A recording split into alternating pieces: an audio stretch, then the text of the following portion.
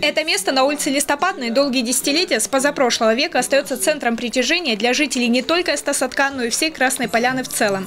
Здесь проходят спортивные состязания, концерты, праздники. Место постепенно благоустраивается. Недавно появилось новое здание Дома культуры, а в День защиты детей здесь открыли нечто особенное.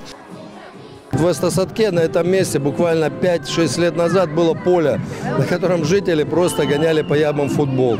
Сейчас вы видите, что стоит новый современный клуб за моей спиной, и вот это великолепная площадка. На первый взгляд, да, современная, но обычная спортплощадка. Таких в Сочи в последние годы стало появляться много. Особенность в том, что это первая площадка в Эстосадке, да и во всей Красной Поляне. Волонтерские дома, которые были построены к Олимпийским играм, они сегодня переданы нашим очередникам. Переселилось сюда 760 семей, очередников. У них есть детки. У нас серьезное отношение к тому, э, чтобы дети действительно развивались. 4 миллиона рублей. Столько стоило строительство и оборудование площадки. Все оплатили сочинские единороссы. Для местных жителей площадка важна по нескольким причинам. Многие занимаются спортом целыми семьями.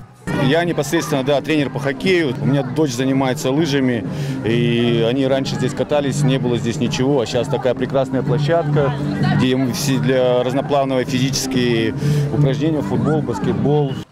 Дочь Николая Юля и ее подруга София тоже лыжницы. Надели спортивные награды в честь праздника. И немного потренировались прямо в них. А вот на новый мини-стадион выходят уже без роликов и без медалей. Так все же удобнее. Мне она очень понравилась. На ней можно заниматься, чтобы быть сильным. С детьми на площадке будут заниматься тренеры-аниматоры. Всего летом на курорте заработает 145 придомовых площадок.